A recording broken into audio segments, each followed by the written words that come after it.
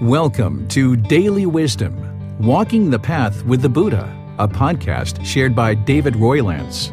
This podcast is dedicated to guiding you to completely eliminate the discontent mind and the suffering it causes by attaining enlightenment. Learn and practice the teachings of Gotama Buddha that will guide you to fully attain a peaceful, calm, serene, and content mind with joy. To support this podcast, visit patreon.com forward slash support Buddha or visit buddhadailywisdom.com where you will discover a full range of courses, retreats, and online learning resources to assist you on the path to enlightenment. Now, here's our teacher to share more.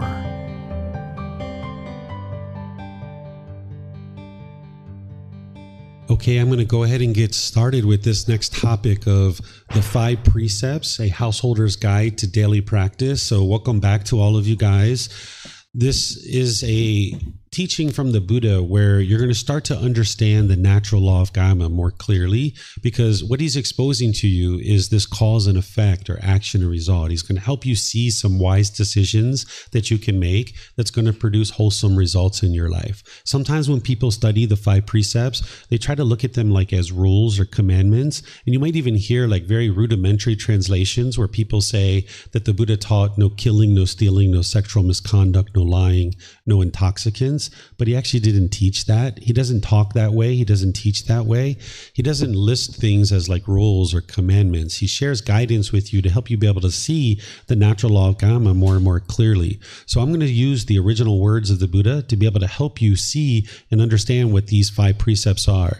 But as I teach you, just remember that everything that you're learning is based on this natural law of karma, of cause and effect or action and result, the results of your decisions. It's your life. It's your decisions. It's your results. This isn't mystical or magical. It's not punishment and rewards. It's not about who's at blame or who's at fault. It's about awakening to the understanding of this natural law about how things truly are in the world so that you can see more and more true reality. So when you see the words of the Buddha, you should look at them in that way that he's exposing you to this natural law. It's not black and white. There's this large gray area that I'm going to help you to navigate. So let me help you to understand these five precepts. This is the first one, using the original words of the Buddha. He says, abandoning the taking of life, refraining from taking life, without stick or sword, diligent, compassionate, trembling for the welfare of all living beings. So here, what he's teaching you is to cultivate compassion for all living beings. Notice if you're studying the teachings of the Buddha and you're investigating and examining his teachings, that he's using this term living beings. Well, the very first thing you should ask yourself is what's a living being? right? You need to know what's a living being. How do you classify a living being? If you're going to live compassionately for all living beings, you need to know what a living being is.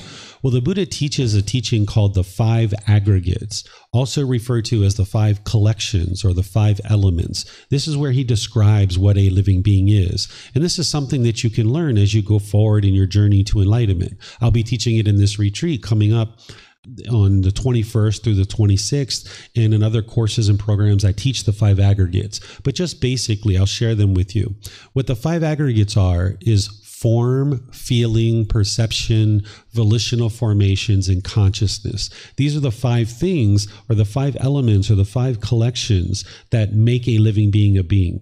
A living being is going to have physical form that's the first aggregate. They're going to have feelings. Those are the pleasant feelings, painful feelings, neither painful nor pleasant. Then they're going to have perceptions. What a perception is, is like a view or opinion, the way that they look out at the world and they kind of view the world through their perceptions. Then a living being is going to have volitional formations. This is choices and decisions. A living being is going to have free will to be able to make choices and decisions. And then the fifth aggregate is the consciousness, which is the mind itself. So a living being is going to have form, physical form, feelings, perceptions, which are views and opinions, how the world is, then it's going to have choices and decisions, which are volitional formations, and a consciousness or the mind. So you can independently reflect on this and you can see that you have all five of those aggregates because you know you're a living being, right? And you can look at all five of those things and be like, yep, I have those things. And then you can look at things like a bird, a cat, a dog, a cheetah, a monkey, a squirrel. All these things have all five aggregates. But then you can look at something like this chair that I'm sitting in. It has physical form, right? When you say it has physical form, but does this chair have feelings? Does it have perceptions? Does it have volitional formations? Can it choose to pick itself up and walk down the street and put itself somewhere else? And does it have a consciousness? No, it doesn't have those five things. That's why it's not a living being, right? So you can look at the world through these five aggregates, and the Buddha is helping you to understand what a living being is. And you'll learn this more in depth as you go forward on the path to enlightenment. But if you're looking for kind of an easy way to just kind of get started with understanding what a living being is, you might use this here that a living being has comes from an egg, a sperm, and a consciousness. That you would see these things, that it's going to be born through an egg, through a sperm, and a consciousness. But this isn't true for all living beings. So that's why it's important to know the five aggregates. But this will at least get you started with understanding what a living being is. And this is where you can understand that plants and bacteria or viruses, these aren't living beings. Where we oftentimes use language in the unenlightened state that doesn't represent true reality. We might say that I'm going to kill this bacteria or I'm going to kill this virus. But you're not really killing the virus or bacteria. It's not a living being. You're eliminating that bacteria from the body, or you're eliminating that virus from the body. Or you're not really killing that tree. You're not really killing the broccoli, that plant of broccoli. You're harvesting that apple. You're harvesting that tree. So we oftentimes use language that leans to us unknowing of true reality and having this confusion in the mind. So part of getting to enlightenment is to clarify what it is that you're really doing in the world and using vocabulary that represents that. So while some people might consider a tree to be alive, it's not alive in the sense of being a living being. It doesn't have all five aggregates. A tree has physical form, but it doesn't have feelings. It doesn't have perceptions. It doesn't look out at the world in a certain way with views and opinions. It doesn't have volitional formations. It doesn't have choices and decisions. It can't choose to pick itself up, walk down the street, and replant itself. And it doesn't have a mind or a consciousness. So, this is how you can determine what a living being is. So then, if you understand this precept and at least what the Buddha is sharing with you, then you might start looking at, well, what is an intentional killing? All of these things are intentional killings a euthanasia of human or animal, termination of pregnancy, suicide, assisted suicide, capital punishment, war, government sponsored killings, murder. These are all intentional killings. But whether you choose to do these things or not, it's your choice. The Buddha isn't telling you what you should or shouldn't do. He's exposing you to the natural law of karma that as you choose to do certain things, then there's going to be certain results as part of that. So you can take these things and you can look at them and you can reflect on them and realize that what the Buddha is teaching you here is to live compassionately for the welfare of all living beings. He's not teaching you to preserve all life at all cost. So let's take something like termination of a pregnancy, where some people think of this as a political issue. I don't think of it as a political issue. It's a human issue. It's something that we have the technology to do. And in some situations, maybe somebody might decide to do that and somebody might not decide to do that. Ultimately, it's that person's choice of what they choose to do. But if a person comes to me and talks to me about termination of a pregnancy, then I'm going to help them to just understand the natural law of karma. I'm not going to tell them what they should or shouldn't do because that decision is up to that person to decide for themselves. But I might say, you know, if you terminate the pregnancy, these are the results that you would experience. And if you don't terminate the pregnancy, here's the results that you would experience through the natural natural law of karma. And the way that an individual can look at this is look at living compassionately for the welfare of all living beings. And in one situation, somebody might decide to terminate a pregnancy, and that's the right answer for them. In another situation, they might decide to not terminate a pregnancy, and that might be the right decision for them. So if a woman has a fetus in her womb and we know that this fetus is not going to live a viable life, that it's either already dead or it will die as soon as it comes out through medical technology, we can know this and if it's threatening the health of the woman, it might not be living compassionately for the welfare of all living beings to allow that fetus to continue to grow in the womb. It might be wise to terminate the pregnancy. So the Buddha is not teaching you to preserve all life at all costs. That's not what he's teaching you. He's teaching you to live compassionately for the welfare of all living beings. And in order to have loving kindness and compassion for living beings, you need to have it for yourself.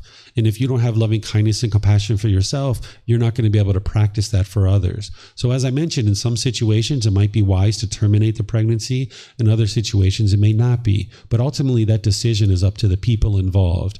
A Buddhist teacher is just here to help you see the cause and effect of what's going to be occurring. And then you make the decision that's right for you. Let's use another example. Like, let's just say I have termites that are eating my home and now these termites are eating the home and i need to eradicate these termites or else you know this shelter is going to fall apart. We're not going to be able to maintain this shelter. So living compassionately for the welfare of all living beings i might get on the internet and i might start searching how can i eliminate these beings without actually killing them? And what i might come back with is there really isn't a way to eliminate these beings without killing them. So I need to live compassionately for the welfare of all living beings. If I let these termites continue to eat our house, my wife, my son, and me are we're going to be out of a shelter. We're not going to be able to live. But if I kill them, then you're killing a living being. But this is the harm that's coming to those beings as a result of them choosing to cause harm. That's the one of the challenges of living in the animal realm is they don't have a higher consciousness to realize, let me go eat these trees in the forest and that would be a wise decision. That if I eat these people's home, then harm's going to come to me because I'm causing harm. So this is those animals This is the result of their decisions. So you're going to need to look at this precept in any particular situation that you're in, and you're going to need to weigh the options of what's wise for you to do in any given situation. Let's take another example, like let's say war. So a government can say to you, hey, those people over there in that country, we would like you to go over there and kill them. And if you go over there and kill those people, we're not going to prosecute you for murder. But if you come home and you murder someone in our country, we're going to prosecute you for murder. This is a human law. The human laws, they're not functioning based on the natural law of Kamma because they're created and administered and enforced by humans. And humans are going to have this error in our way of doing things. We're going to make certain mistakes. But this natural law of Kamma, it's a natural law that's functioning at all times and it's not being administered by any one particular person. So my government could tell me like okay you can go over there and kill those people we're not going to prosecute you for murder. But i can't escape the results of my decisions. Any decisions that you make you're going to experience the results. This is why if you go off to war you're very likely to be killed yourself or get injured or come back with some kind of mental challenges. You might commit suicide. You might get amputations or things like this. You can have all kinds of difficulties when you go off to war. So when we're talking about the natural law of Kamma, we're not talking about just the laws of society or, or governmental laws. We're talking about the natural laws of existence. We're talking about this cause and effect or action and result. And it's not always black and white. It's not that you should never kill, but it's not that you should always kill either. So you're going to need to look at each individual situation with your clarity of mind and decide what would be the wise decision here. And in some cases, students come and talk with teachers and they say, Hey, this is what I'm dealing with. What are your thoughts? And I'll share with you my guidance and my advice, but I'll never tell you what to do. I'll say, well, if you do it this way, here's what you'll generally experience. If you do it this way, here's generally what you'll experience. But decision is yours. And no matter what you decide, I'm still here to support you and still here to encourage you. I don't want you to do anything specific. So if somebody came to me and say, Hey, I'm interested in terminating this pregnancy, I thought I'd get your advice. Okay, here's the natural law of Kamma. Here's what you can consider. And if they choose to terminate a pregnancy or they choose not to terminate it, I'm still here to support them, encourage them, and help them because I don't want them to do anything specific because each individual needs to decide for themselves what's best for their life. And each individual person is the only one who knows all the variables in their life. A teacher, no matter how much we know about the natural law of Kamma, I can't know all the individual variables that you're confronting in any one given decision. So we're here to provide provide you guidance and advice on this natural law. And in this particular one, you can see where, yeah, there's a pretty large gray area. And you're going to see with some of the other ones, it's that way as well. But the more you learn it, the more you practice practice it, you'll be able to apply it and be able to see more and more clarity of how to apply it in a given situation. So, for example, like this do not resuscitate, this is a DNR. I don't know if your country has this or if you know what this is about. What this is, is that you can go to a lawyer and you can fill out a contract where you're essentially leaving a legal agreement with your relatives that says if you die, that don't bring you back to life. Don't use medical technology to bring you back to life. This is still practicing this precept because you haven't done any intentional killing. What you're saying is you're comfortable with death. And if this body dies, don't use medical technology to bring you back to life. So sometimes students ask me, you know, if I put a DNR in place, am I still practicing this precept? Yeah, you're still practicing. You haven't killed anybody. You haven't uh, taken the life of any living being. You're just choosing that if this being dies, you're okay with that. Don't use any medical technology to bring me back to life. Then you might look at something like defense and protection. Like, say you're in your house 2 a.m. in the morning sleeping and somebody breaks into your house, they break in through a window. I guarantee you they're not bringing you chocolate and flowers. I'm almost sure of it. They're not bringing you chocolate and flowers 2 a.m. in the morning, breaking into your house. They're there to do you harm. And what I would advise somebody to do in that situation is if you can, get out of the house. Call the police somewhere else, they're the ones who have the tools, the training, the ability to come in and deal with that issue. But you might find yourself backed up against a wall, maybe you and or your family. And if this person is trying to do harm to you, what I would say to you is you might need to cause harm back in order to stop this situation. If you're going to have compassion for all living beings, which compassion is concern for the misfortune of others. If you're going to have compassion for beings, you have to have compassion for this being first. So if you just sat there and let this person beat you up or stab you or hit you with a baseball bat or whatever it is that they're trying to do, you're not having compassion for this being who you are. So if you need to cause harm in order to stop that harm that's coming to you, then you're going to need to do that. But what I would encourage you to do is cause the least amount of harm as possible. Whereas if you can just hold them and tie them up, or if they have a baseball bat, if you can get a bigger baseball bat, um, whatever you need to do, cause the least amount of harm as possible. But ultimately, if you needed to take the life of this person, there's no harm that's going to come to you because of the natural law of karma. This person was causing you harm. And if you had to kill that person, no harm is going to come to you as a result of that. But that's where you'd like to make sure that you're causing the least amount of harm as possible, right? If you're able to just get you know a stick or a baseball bat or something like that that's ideal if you don't have to kill this person that would be ideal but if you had to you're not going to experience any unwholesome results because of the natural law of karma. So, in some cases, you might need to defend or protect this being who you are. Because remember, the Buddha is not teaching to preserve all life at all costs. He's saying to live compassionately for the welfare of all living beings. So, by causing the least amount of harm as possible, that's living compassionately for all living beings. Then you might think about consuming animal products. If right now you're eating meat, which plenty of people do eat meat, you might decide to move over to a plant based food supply. This isn't something that anyone's going to force you to do or convince you to do or tell you that you have to do. It's your life, it's your decisions, and it's your results. What you might see if you start investigating this is that by eating animal flesh, you're ingesting not only the flesh of the animal, and that animal has to be killed in order for that to occur, but you're also ingesting drugs, hormones, and toxins and things like this. Even if you eat wild salmon, they've taken wild salmon out of very clean rivers in America and they tested the flesh and they found all kinds of substances like cocaine, antidepressants, all kinds of things. There was like 90 some different substances in the flesh of this fish. And when you eat that, you're eating those same things. And when you eat farmed animals, any kind of hormones or antibiotics or anything like this that go into those farmed animals, you're also ingesting that. So when you eat meat, you might find that you have issues in your digestion, you might find certain sickness in the body. And when you eliminate the meat from your food supply, and move to a plant based food supply, you'll see more health in the body. And that's the results of your decisions. You also see improvement to the condition of the mind because if you're ingesting animal flesh, as I mentioned, you're ingesting drugs, hormones, and toxins. So those things are all affecting your mind. You'll notice more clarity in your mind. So when or if you ever decide to move to a plant based food supply, it's your choice. It's your life. It's your decisions. But as you do, remember the teachings of the Buddha are independently verifiable. You can see the truth for yourself that you get less sick and that you experience more clarity in your mind. But when or if you ever choose to do that, it's your choice.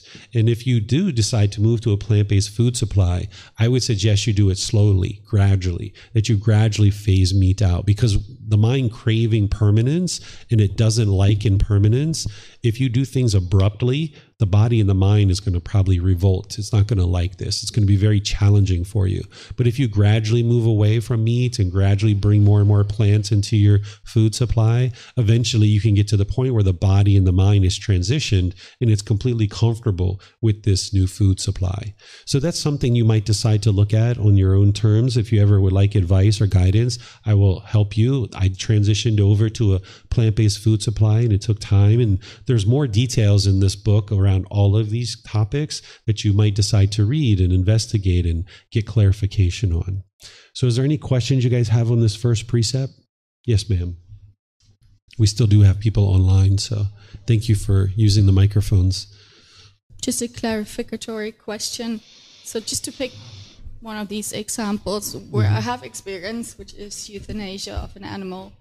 Um, I love animals, and I've seen that this can be a very probably the best way to go. So I just want to uh, check. So would that mean when I um, allow an animal to be euthanized under conditions where they're suffering and it will reduce their suffering compared to a situation where let the animal die naturally?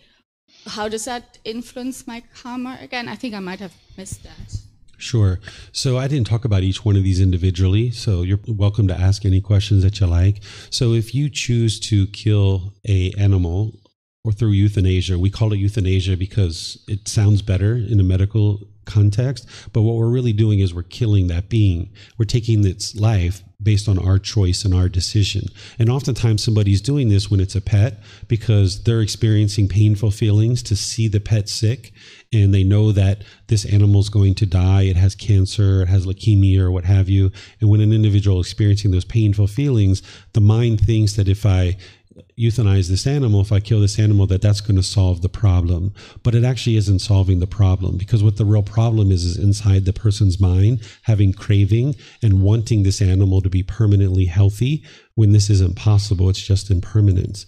The other problem that is actually being experienced is this animal is stuck in the cycle of rebirth. That's the real problem that is being experienced because now that this being is in existence, it's going to need to get to an improved existence like a human realm or a heavenly realm in order to experience enlightenment and escape this whole cycle of rebirth. So that's the real problem that this animal is experiencing. It's not the cancer, it's not the leukemia or whatever other problems that it might have. That's not the real problem. That's just impermanence. The real problem that it's having is it's stuck in the cycle of rebirth and it needs to get out. So if we kill an animal, say, you know, six years old because it has cancer. That means that it didn't get to live out its full karma, its full results of its decisions. So, say it would have lived till six and a half or seven or eight years old, it would have experienced more of its karma and it would have had an improved rebirth in its next birth, potentially getting closer and closer to the human realm or heavenly realm to then be able to escape the cycle of rebirth. If we euthanize it, then it's not getting that opportunity to fully live out its karma. And this is where, when you make a decision to euthanize, someone can feel guilty or someone can feel shameful. That discontentedness that the mind experiences, that is the karma. Then, if an individual repeatedly kills like this or repeatedly does these kinds of things, then what they can experience is a shortened lifespan themselves. This is why, like, if somebody goes off to war and they kill, they can die, right, at 18, 20, 25 years old because they're repeatedly killing. If you look at like a serial murderer, they can be killing a lot of people and then they go to jail and then somebody kills them, right? So when you kill and you repeatedly kill, the karma that you experience is that you're very likely to get killed yourself and die. And at a very minimum, you can experience guilt or shame or these other kinds of things related to your choice to kill another animal or kill another living being. Okay, yeah, thanks. I can see where part of that comes from, but I mean, for example, in this particular example, um, I don't feel guilt or shame or anything. Quite the opposite. I had mm-hmm. situations where an animal uh, died without this interference, and mm-hmm. it was way more painful, much more suffering, and I mm-hmm. regretted that. I felt like shame about that. So, I mean, we're not talking about a case where mm-hmm. some an animal could live for another uh, six months, but I mean, like take one example, like I had a cat, and it was towards the end of her life she wasn't able to pee or anything anymore. She would have internally just like be um, poisoned and die in a very horrible way. So it was a matter of hours. Mm-hmm. um, so i'm wondering how much like the compassion part comes in there as well. So you mm-hmm. know to decide on it you know causing the least suffering for that animal but i understand the or maybe i don't quite understand how the idea that the animal can live out uh, their full karma comes in. Yeah, this is really challenging for people to understand. Is you're not solving the problem by euthanizing the animal. The animal is experiencing impermanence. That's all that's happening. An individual, when they're choosing to euthanize an animal, it's not a compassionate killing. This is what some people label it as, as a compassionate killing you can't kill someone compassionately. It's not possible. Um, as as long as you're making the choice that I would like to kill this being because I think this being is suffering and that's better for that being, you're making the choice for that being. You're making the choice to kill, and that's very unwise for an individual to put themselves in a position that they're choosing to kill another being, and it's going to produce unwholesome results for you. It's producing unwholesome results for that being, but it's very challenging for the mind to be able to see this as the case. If um, you experience those same things that the cat was experiencing, would you like to die? You would. Okay, so that's a crave that so that's a craving for non-existence. You see see how you were doing that? That's your craving. So that's the longing that's the yearning. You would like to get to the point where you don't have that craving. You don't have that longing and yearning and that's how you can get to peace. Because right now if you experience that particular thing you would be experiencing painful feelings in the mind because you're having craving to be permanently healthy.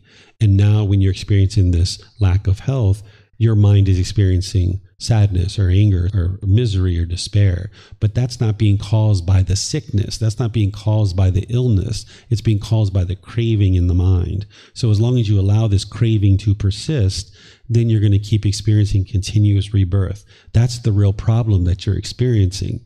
This pain that the body is going through, the physical pain, and then thus the mental pain, that is a problem but the real bigger problem that one is experiencing on this particular topic is the cycle of rebirth. And you can escape out of that if you keep heaving to the craving. I'm craving for my cat to be permanently healthy. And when it's unhealthy, I don't like that. So therefore, I'm going to kill it so that it doesn't have to be unhealthy anymore.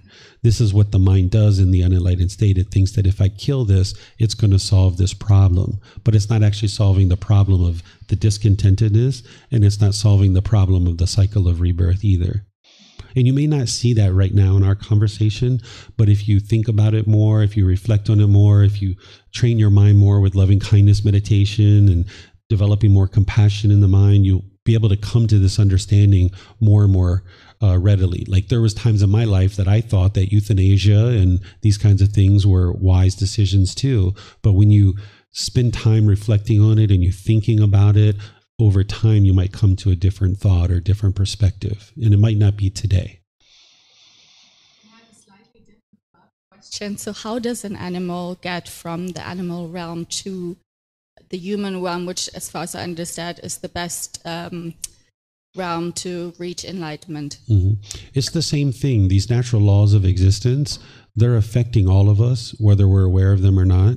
So, for example, like a lion, a lion is killing a snake is killing and killing and killing. It's very challenging to go from like a lion straight into human existence because there's so much killing that that being is doing. The natural laws of existence are affecting it. has a lot of craving in the mind. So it's very challenging to go from those types of existences into a human existence. But an animal like a elephant, for example, an elephant tends to be more compassionate. It doesn't kill to eat. It eats plants so, in the animal realm, you have to experience continuous rebirth countless times within the animal realm until you eventually get to an animal that has improved decision making and improved kamma. And now that being like in the elephant is more likely to be reborn into the human realm than that snake or that tiger. But eventually, those snakes and tigers will get to like a turtle or a rabbit or something like this that isn't killing, that doesn't have aggression and hostility the way that a lion or a tiger does. They need to burn off that craving, that anger, that ignorance. And so you can cultivate your mind to a certain degree in the animal realm, but just not enough to enlightenment. So as they cultivate their mind, becoming more compassionate, more loving, making wiser decisions, they can eventually get into the human realm. And it's the same natural laws that's affecting them that's affecting us. Mm-hmm. Yes, sir. Yeah. So, uh, as I understand it, so karma is um, following the soul in a way, or or something. No. No, the Buddha never taught that there is a soul mm. or there isn't a soul. He left it as an undeclared teaching. So he talks at different times. Of course, he has all these teachings, but there's a particular discourse where he says, you know, these are my teachings. This is what I declared. And then he says, remember what I did not declare. I did not declare these teachings. So he declared his undeclared teachings. So he didn't say whether there is a soul or mm. there isn't a soul. But I think your question is going to be how does your karma go from one life to yeah, the I next? Mean, yeah, yeah, yeah. So I'll explain that to you. So let's just say, like, you have being A, and then you have being B. So you have person A and you have person B, right? Now, person B has certain cravings, anger, and ignorance in their mind, and they're going all through their life, and they get to the end of their life. And now, because they have craving in their mind, craving is the fuel that causes rebirth. If you have craving at the time of death, there will be rebirth. That's like a spark on a fire. If you have a fire that has logs on it and it's sending off sparks into the air, then these sparks are going to get carried by the wind and now it's going to land and it's going to ignite a new fire. Because this fire has fuel, it's going to send off sparks and there's going to be a new fire. The same thing is if your mind has fuel which is craving, desire, attachment, that fuel is sending off sparks, and now it's going to create a new consciousness or a new mind. So at the end of person A's life, if they have craving in their mind, it's going to produce, that's the cause and condition that's going to produce the new consciousness. And there's going to be a brand new mind. But this brand new mind, it's going to have the cravings and residual memories from person A are now in person B. And now person B is making decisions in their new life based on cravings from their previous life. So let's just say person A is Bob. And let's just say Bob, all throughout his life, he had all kinds of sexual craving and he had all kinds of different relationships with different people, having lots and lots and lots and lots of sex. And now he gets to the end of his life. He still has craving in his mind. He dies, and now it spawns this new consciousness. And now let's just say it's Barbara and now this new being is Barbara. It's the same cravings and residual memories from Bob, but it's a brand new consciousness. It's a brand new body. And now Barbara starts having sex with lots of different people, going outside relationships and different things like this. And now let's say Barbara contracts HIV and maybe she passes away and dies and then now maybe she goes back and, and now this consciousness spawns a new consciousness and now it gets born into the animal realm at that point right? Well the kamma that barbara is experiencing it's based on her decisions but it's from cravings from her previous life when she was bob so that's how you experience your kamma from one life to the next. It's not this dark cloud or anything following you around. It's not like a soul or anything like that. It's the mind is like a container. It's like cardboard box A and cardboard box B each cardboard box it's a different size different shape different color different texture but the contents of cardboard box a when that cardboard box dissolves the contents of craving and residual memories go into this new cardboard box, and now that's Barbara. And now Barbara's going to be making decisions based on those contents. That's how you experience kamma So- from your previous life. So, like a child then that haven't started making any decisions. Hey, what? A child Mhm. that haven't started making a decision, and Mhm. they acquire uh, cancer early, or get abused, or even die. Or Mhm. yeah, Okay. So this is, were you done? Okay. So this is also the kamma. This is the results of the decisions, right? It's not punishment and rewards. It's a sequencing of events that say that in this old life, you had certain cravings and residual memories. Craving is what determines whether you experience rebirth or not. But your kamma, the results of your decisions, determines what realm you're born into and what condition you are within that realm. So if somebody is born into a body that at the age of 10 gets cancer and they die, this is old kamma from their previous life. That based on what they were doing in that life, their mind ended up in this new new body and this body is old kamma from their previous life so the condition of them in that life is based on their previous life yeah. That sounds like the soul, though. Like there's some personal karma coming through many lifetimes. Then it would I mean, be even though it would be didn't say the unwise soul, to yeah. yeah. it would be unwise to think that way because that's not a declared teaching and the soul conflicts with the universal truth of impermanence and it mm. conflicts with the universal truth of non-self so the buddha wisely didn't declare whether there is a mm. soul or there isn't a soul he just left it as some an type of undeclared teaching. metaphysic. Yeah, seems like it is. So what's moving from one life to the next, even though we call it the cycle of rebirth, there's nothing that's being reborn. So the word that was in the original teachings of the Buddha, it's called samsara. This is the original word. But people are translating it as the cycle of rebirth, which in my opinion is unwise because if you see the way that the Buddha describes it, he describes it as what I would describe as the cycle of new existence. Each existence is completely new. It's a new body and it's a new mind every single time.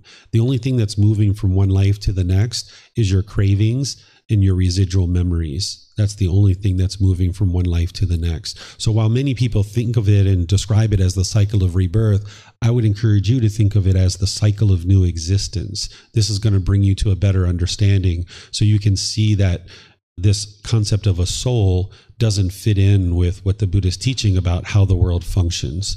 And it's an undeclared teaching. So if you think of it as the cycle of new existence, even though you might hear it described as the cycle of rebirth, that's a better way for you to understand what's truly happening in that experience. Mhm. Yes, madam Mhm. You guys are being so friendly to each other, passing the mics around helping each other. I saw you guys sharing mats with the new students who were coming. That was very nice of you guys to share mats and that kind of thing. That was wonderful. So I'm just curious is it possible in this lifetime to resolve a previous karma? Yes, and that's what you're doing on the path to enlightenment is you're working to extinguish all your unwholesome karma. And that's why getting to wise decision making with things like the five precepts is so important because as long as you have unwise decisions and you haven't experienced the unwholesome results, there is going to be rebirth. So when I talk tomorrow about the natural law of karma, I'm going to explain to you wholesome karma and unwholesome karma, old karma and new karma, and then I'm going to teach you how to extinguish your unwholesome karma because that's what you're doing on the path to enlightenment is you're extinguishing all your unwholesome karma. So by the time you get to enlightenment, you're only experiencing wholesome karma. That's it. You only have wholesome karma. That's it. You're not experiencing anything unwholesome anymore. That's one of the reasons why your mind is so peaceful and joyful, and one of the reasons why your life is so peaceful and so joyful. Everything's at ease because you're not making any unwise decisions that produces unwholesome results. Everything's wholesome. So yeah, you're extinguishing. That's what you're doing through the Eightfold Path is extinguishing your unwholesome karma by making only wise decisions. But we'll get to that tomorrow. And this is leading you up to that because you need to know how to make wise decisions through the five precepts. Microphone check one, two. Oh, I've always wanted to do that. You gonna do some beatboxing for us? I- I'm actually totally confused with this, and it's probably going to be a silly question in a way. But if I'm right in saying the the rebirth or the existence is your mind going into another body. Mhm. How then do we end up looking like our parents and have personality traits like our parents if we're just a mind from someone else? It's a new mind and a new body every time. So it's not a mind from someone else, it's a brand new mind. So if at the time of death, if Mary still has craving at the time of death, then this body is impermanent and this mind is impermanent. But because there's craving in the mind, that's the fuel, that spark. It's going to lead to the creation of a new consciousness. And now that new consciousness is going to find a body. This body is based on an egg from your mom and a sperm from your dad. And now you've got those genetics. This body is old kamma. It's coming from your mom and dad, and you look like perhaps your mom or dad. That's because of the genetics involved. But this mind found that body based on your kamma, based on the results of your decisions from your previous life. I don't know. Can, yeah.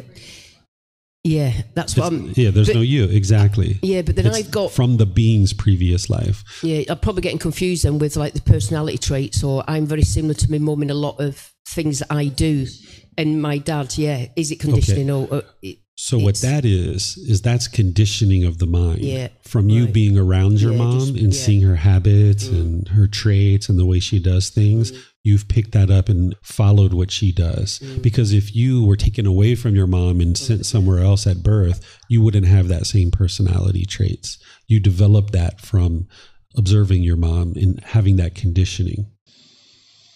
yeah, I mean, some people do argue that as well, though, don't you? I was a foster carer for many years, and uh, I've had children that have been taken away from the parents, but then when they've actually met them in you know years away, actually said they can see how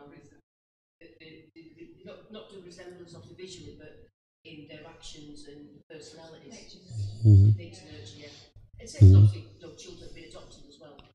Yeah. So, in my opinion, this is people just looking for those things. Right, okay. right it's not actually like uh it's not that they picked it up from that person or it's not that in, innately their mind just started functioning that way it's that they really want that child to be able to see it yeah it's like a placebo effect right yeah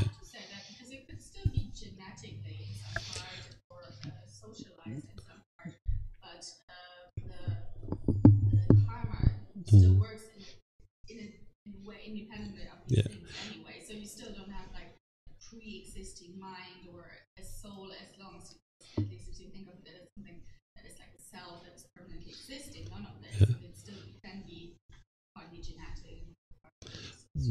there's nothing genetic about personality or characteristics there's nothing genetic that's what people that's what people say but it's not because everything about your personality is based in your mind i'll share it this way. This is how you can see the truth on this okay?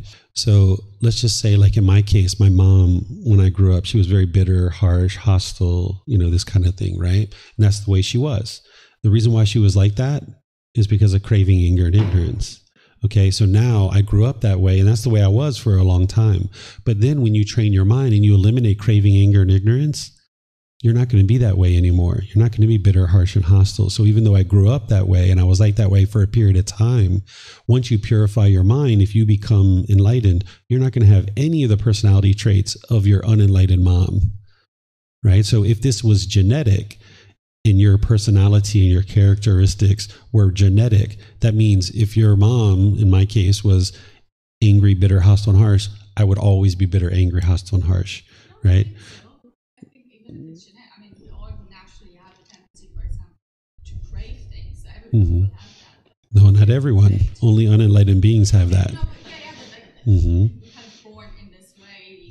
We're born with explanations, but we're still able to do something If- not. If personality was genetic, then that means it would stay with you all the way through your entire life. That if my mom was bitter and harsh and hostile and that's her personality, then that means, okay, that's genetic. And now I can only ever be bitter, harsh, and hostile. I would be stuck with that because it's in my genetics, it's in my genes, and I can't change it. So you can see this true reality if you look at it closely and don't hold on to what you currently believe. But if you look at it closely, you can see that personality and characteristics, they're not genetic. It's all based on what's going on in your mind. Your mind is impermanent and you can purify that and you can get to the peace and joy, which has nothing to do with this parent who's maybe bitter and harsh and hostile. If you believed that your personality was genetic, then that means you can't do anything to change it. It's permanent. But do we see anything permanent in the world around us? Is there anything permanent around the world that you see? Universal truth of impermanence. So if you believe that it's genetics, then you can't do anything to change it. And genetics are impermanent as well, but your personality and your characteristics in the mind, that's not coming from your genetics. That's coming from what's going on in your mind in terms of these pollutions. Your behavior, your conduct, the way you interact in the world, that's based on your either pollutions of mind, your unwholesome qualities, or your wholesome qualities that are in the mind. That's where your conduct, whether you're skillful or unskillful, or whether you're practicing moral conduct or you're immoral, that's all based on the pollution in your mind. Mm-hmm. Not sure why these mics aren't working so well. there you go. You get, I think you guys aren't patient enough. It takes about a Okay. second to Hello? kick in. There okay. Okay, I have one question. Um, during the course, um, we've been able to find evidence or to prove the truth of the teaching of the Buddha based on of, on our own experiences and observations of the world around us. But when it comes to the cycle of rebirth, Mhm. uh, and the you know as a result of unwholesome karma, how can we find? We ca how can we prove the Yeah. truth of that? So or I it's have- a matter of faith or so-called faith. No, you don't ever okay. believe even the cycle of rebirth. I have something that students ask this question all the time. So I have something that I wrote up to show you how to independently verify the cycle of rebirth. There's 15 things that I share that says this is how I independently verified it and this is how you can independently verify it too. So if you'd like to do that, you can send me a message and I'll send it back to you. I suggest for people to approach the cycle of rebirth after they've already learned the core central teachings, because one of the best ways to verify the cycle of rebirth, even though there's other ways, is for you to observe your past lives. If you observe your existences in your past, you will undoubtedly know that the cycle of rebirth is true. And when your mind's polluted, you oftentimes don't have ability to remember things from your past life. But if you focus on the core central teaching and you're eliminating the pollution out of your mind, this is where your mind will potentially start observing your past lives. But there's other things that you can see if you ask me. Like I can share with you, like, have you ever had deja vu? Do you know what that is? Deja vu? Yep. These are your residual memories from your past lives coming up, right? Because it's something that you're doing now and you're like, oh my goodness, I've done this before, but you know it wasn't in this life. This is your residual memories bubbling up. Even without being on the path to enlightenment, people can have deja vu. But there's these 15 things that I share and I documented it so that people can learn it. If you'd like that information, you're welcome to ask me. I'll send it to you. I usually suggest for people to set it to the side because what's happened in the past, it's in the past. It's long in the past. It doesn't matter now. What may or may not happen in the future, it's in the future. It hasn't happened yet. Right now, you're in the present moment. You're a human being. Your mind's discontent. You would like to experience this peace and joy. Focus on getting to enlightenment in this life, learning the core central teachings. Then, a year, year and a half, two years into your development, you've got all the core teachings underway. You'd like to learn the cycle of rebirth and independently verify that. That's a better time to do it. But even then, you're not believing, you're not faith. There's ways to independently verify it. And this content that I have, if you would like it, I'll send it to you, and it gives you 15 points of how to independently verify it. All right. Uh, this is a, a bit of an out of the box uh, question, but um, last year in uh, 2022, I mean, uh, the Nobel Prize in Physics. Mhm. So they, they proved uh, sort of the double slit uh, experiment, and that you can sort of uh, that two particles across the universe act as one in a way. So you can sort of poke one article, and the other one is sort of affected across the universe. So wondering if, if you have sort of looked into that anything, if that uh, and that if that can be sort of related to the transition of lives and um, metaphysic aspect of this. I haven't looked at that. no, it seems to be something uh, correlated at least. From my experience, Yeah, science is only proving the Buddha's teachings to be more and more true. yeah, that's what I mean. Like what he taught, to catch. what he taught 2,500 years ago. Yeah, it's yeah, just every time science comes out with something, it's like, yeah, the Buddha was already teaching that Yeah, 2,500 years But ago. that, so that there's a lot of articles around that. That, that finding is sort of a turning point in, in science to work on a more metaphysical uh, level. yeah. So yeah, Yeah, the more that you look at science and the more you understand the teachings of the Buddha, you'll just see that they're just proving more and more that his teachings are so accurate. But you can do that work on your own within your own life practice and get to a lot of those conclusions even without science. All right, this is the first precept. You guys are a lot of questions. Okay. So I think these next ones. Oh, do we have another question here? Okay. Um, let me just be sure. Okay. So let's go to the second precept and share some more with you guys. This is great that you guys are so comfortable and asking questions and you aren't attached to lunch anymore and any of that kind of stuff.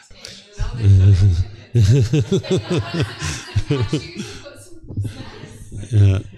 And that's generosity, sharing sharing food, right? Okay. So let's go to the second precept. This one, the Buddha is teaching abandoning the taking of what is not given, living purely, accepting what is given, awaiting what is given without stealing. So here, of course, he's sharing don't steal, right? We can't cause discontentedness for another person. Nobody can cause you discontentedness, but you can cause people harm. Harm and discontentedness are two different things. Like if I stole somebody's car, I've caused them harm because now they can't go to work and make money. They can't take their kids to school. They can't buy the things that they need by going shopping and stuff like this. I've caused them harm. They worked a certain amount in order to get that car, and now I've caused harm to them. But if they're discontent, they're causing that discontentedness themselves because the mind's craving permanence. But if you cause harm, then harm's going to come back to you because you need to practice harmlessness. So the Buddha is teaching you here not to cause harm to others by stealing stuff because you'll experience. People are coming after you. People are fighting. People are going to injure you. People might kill you. You might get arrested. These are all harmful things that are going to come to you based on your unwise decision. Because you made an unwise decision to steal now this unwholesome result's going to come back to you. So that's why he's teaching not to steal. But also it's unwise to assume that something can be taken or used. Say that you were in a college class and you're going to turn in an exam paper to your professor and you saw this stapler on their desk. The professor was out of the room and you just grabbed that stapler and you started using the stapler. And now the professor walks into the room says, Hey, what are you doing? You're using my stapler, right? They're maybe attached to their stapler and now they're getting angry. They're getting frustrated. They don't understand right view. They don't understand craving is what's causing them to be angry. They're going to attribute their painful feelings to you. And now they might give you a bad grade on that paper, or they might even fail you in the entire class. So, one of the things that the Buddha is teaching you is how to get along and navigate this world with a bunch of people who have craving, anger, and ignorance. He's teaching you how to navigate the world of unenlightened beings. So it would be unwise to assume that something can be used. It's wise to ask questions. Hey, professor, do you think I can use your stapler? Oh, sure, go ahead. But they also might say, no, you can't use it. Okay, no worries. I'll go find one somewhere else. You go ask someone else, or maybe you go buy one, right? So don't assume that things can be used. Here, the Buddha is talking about accepting what is given. If people are practicing generosity with you, it's wise to accept their generosity because then it helps them to eliminate craving, desire, attachment. And it helps you to build a relationship too. If you were to shut down people's generosity, you'll find that people will be less and less generous with you over time. So, like, say grandma gives you a sweater at Christmas and you know that you're never going to ever wear that sweater ever it's wise to just accept that sweater. And now, when you get that sweater, grandma got to practice generosity and it helps her mind, right? But now, if you know you're not going to wear that sweater, instead of letting it rot away in the closet for 20 or 30 years and nobody gets to use it, you can give it to somebody else. Some cultures call this regifting and they think that it's bad to regift. Well, the other option is to let it sit in the closet for 20 or 30 years. If grandma gets angry because you gave it to somebody else, grandma didn't practice pure generosity. She's causing that anger herself. She had an expectation. She had a craving, a wanting, a longing, a yearning. You didn't cause her anger. So now if you regift it, maybe it goes through 10 different hands. All those people get to practice generosity. And then it's going to eventually find someone that says, That's the most beautiful sweater I've ever seen. I'm going to wear it every day. It's so beautiful. Thank you so much. So now you just allowed that to go on. You 10 different people got to practice generosity. So it's wise to accept what is given. But remember, this is not black and white, right? If someone offers you cocaine or heroin, are you going to take it? No, right? You're like, okay, you know, I'm sorry, I, I, don't, I don't accept that, right? So it's not black and white. The Buddha's not giving you rules here. He's showing you how to navigate this world more harmoniously with other beings. So it's wise to accept what's given, but you need that discernment. You need that wise decision making that's in there. Then the other part here, he says, awaiting what is given. What this is, is that you don't put your expectations on people to give you something. So say you have a life partner and they're going on a business trip. If you're like, hey, get me this, get me this, get me this, get me this. Now they're going to adopt your expectations as their own. They're going to be racing around that town trying to find you what you want. And if they can't get it, they're going to be angry and frustrated. Or if they come back and they don't have what you want them to have, you're going to be frustrated and angry. So the Buddha teaches you to await what is given. Don't put your expectations on people of they have to give you something. So this is why, like in a Buddhist temple, you won't see people passing a bowl around asking for a donation because we just await what is given. If people would like to practice generosity with us and share to help us pay electric and water and things like this, okay, great, they'll share with us. But we're just going to be sharing. We're just going to be practicing generosity, sharing the teachings, sharing resources and things like this. If someone else chooses to practice generosity with us, so be it. We don't have any expectation that that would occur, but some people choose to practice generosity and some people don't. It's up to them. So if you await what is given and you don't have an expectation, it protects your mind so that you don't end up frustrated. Because if you have an expectation of getting something from somebody and you don't get it, you'll be frustrated, you'll be angry. So, any questions on this one? Pretty straightforward, but once again, there's a gray area here that you need to navigate. And if you have the wisdom, you can navigate that. Right? Okay. So let's go to the next one. The next one is about sexual misconduct. This is the Buddha describing sexual misconduct. He says, abandoning unchastity, abandoning sexual relations with women, men who are protected by their mother, father, mother, and father, brother, sister, or relatives, who are protected by teachings, who have husband, wife, or partner whose violation entails a penalty, or even with one who has been garlanded by a man, woman, or partner as a sign of engagement.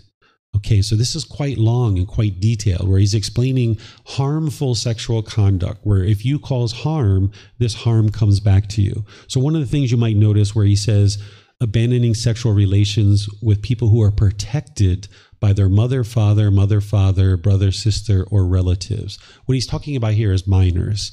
If there's a minor who's 12 years old and you're choosing to have sex with them, it's very impactful to them. They're being guided by their parents, they're learning, they're growing. If you choose to have sex with a minor, it's going to kind of pull them out of that development process. So it's wise to have sex with people who are of age and who are not protected by their mother, father, brothers, and sisters. That's what the Buddha is sharing here. And in most cases, the human laws are the same, but there are some places in the world that it's legal to have sex with minors based on the government. But if you look at those cultures, they're really struggling in those cultures where they're doing that because the children aren't growing up and developing their mind and learning from their parents. This is the kamma of those cultures, right? So the kamma, you can't escape that. Then notice here where he says, whose violation entails a penalty. That's having sex without consent. That would be like raping somebody, having sex against their consent. Then notice where he says abandoning unchastity. Chastity would be having no sex at all. If you guys know what a chastity belt is, in the old days, fathers would put like a metal belt around their daughter and it would have a key, a lock and a key. And it was only the father that had the key. And nobody else could get into these underwear if the father didn't use the key. Imagine it was pretty uncomfortable to walk around with metal underwear, but this is what they would do. It's called chastity, where you're not having sex with anybody at all unchastity would be having sex with lots of different people, lots of different people. So if you had sex with lots and lots and lots of different people, like multiple partners at the same time, that would be unwise. And that's why you get sexually transmitted diseases if you've ever done those kinds of things. So if you just have one partner at a time and then be loyal and loving and committed in that relationship, that's going to produce the best results for you. So that's the wise decision is to have sex with just one partner at a time. When that relationship's over, you end that relationship and move on.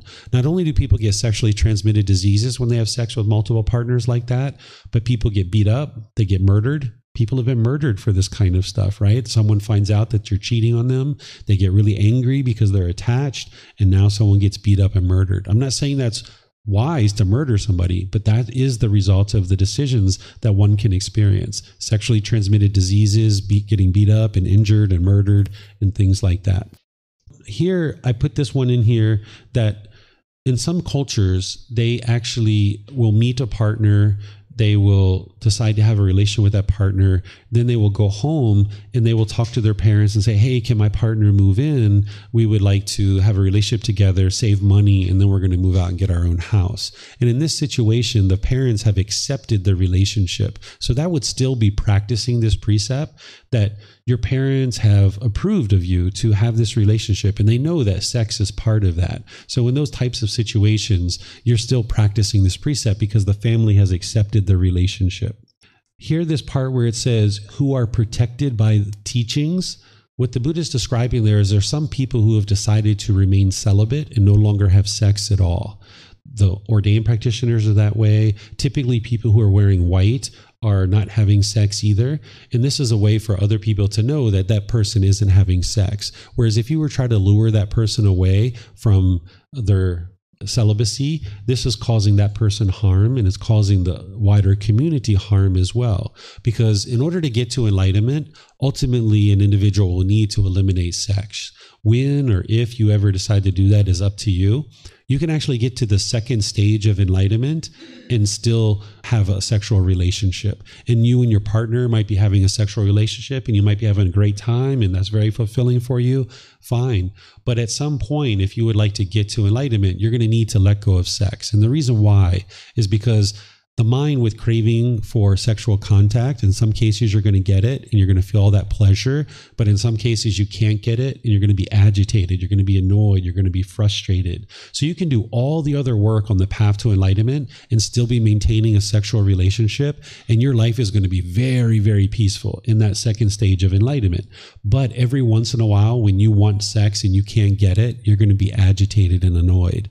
So if you ever are interested in getting to complete enlightenment you might gradually decide, okay, me and my partner, we've been there, done that, you know, enough times. How many more ways can we do that that different way? And we're going to let go of the sex. But if you're young and you're learning these teachings and you're still having a sexual relationship, you might do all the other work, get to that second stage of enlightenment, hang out there for a period of time, however many years you like, and then when or if you would ever like to eliminate sexual contact, you can decide to do that. But it's your choice. It's nobody else's choice. It's your own independent journey. You might even have sex all the way to the end of your life.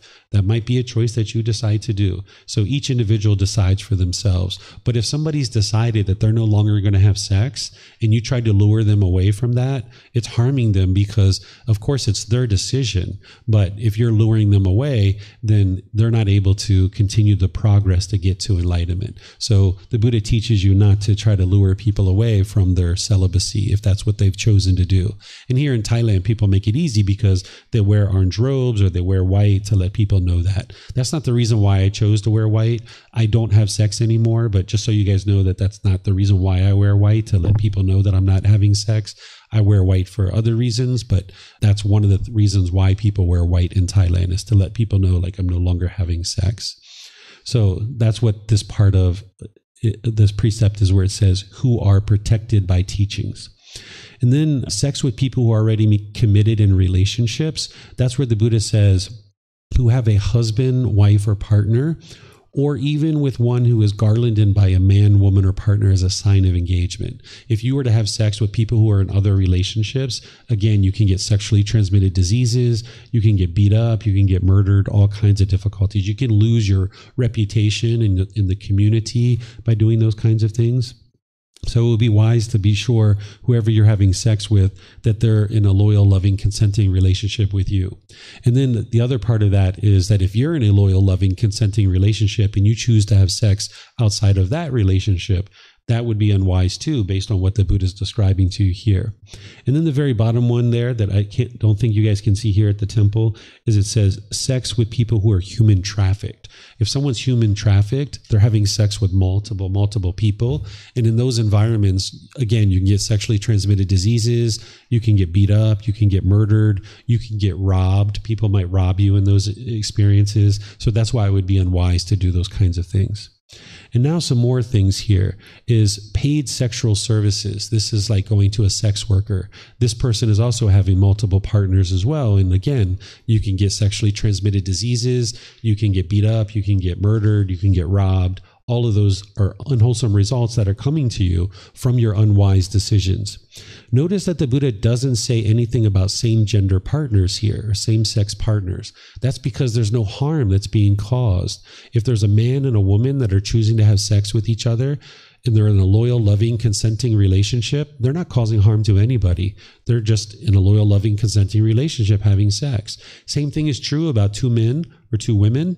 They're in a loyal, loving, consenting relationship. They're not causing harm to anybody at all. So that's why the Buddha doesn't include it here.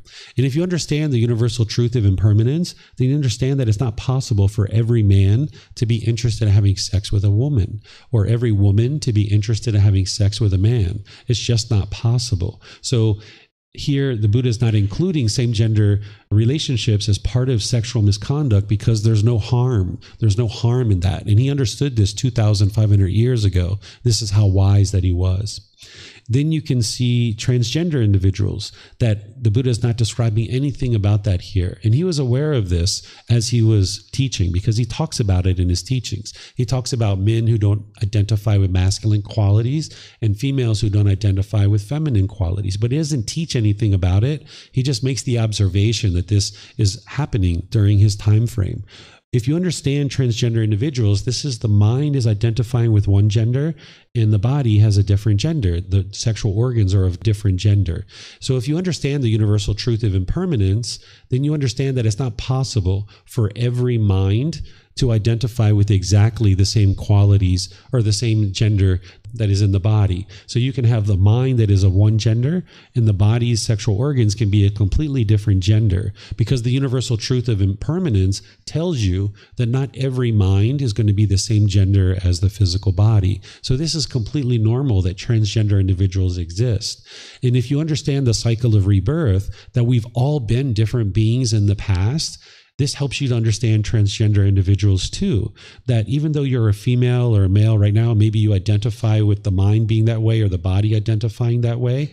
In the past, you were a male or a female or different gender. So an individual can have a mind that identifies as one gender and the body has a different sexual organs. And this can be because of the universal truth of impermanence. We understand it that way. And you can understand it through the cycle of rebirth that we've all been different genders. So the mind can end up in this life with a mind that is of one gender and the body is a different gender. And this is completely normal. They're not doing anything wrong. The individual hasn't harmed anybody.